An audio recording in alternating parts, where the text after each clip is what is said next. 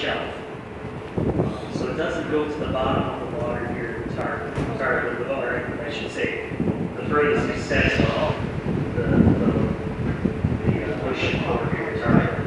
It sits up on a shelf and stays there. It goes back up into the mountains, twenty-one miles to the source. So we're not talking a small glacier here at all. It goes back up to its mountains in the Fairweather Mountain. It has a flow rate associated with it.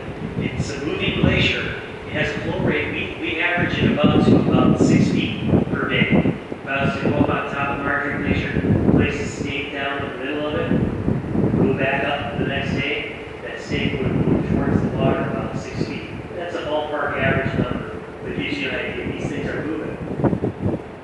It is a glacier that's relatively stable, might even be advancing a little bit, but it's relatively stable. We see it the same part of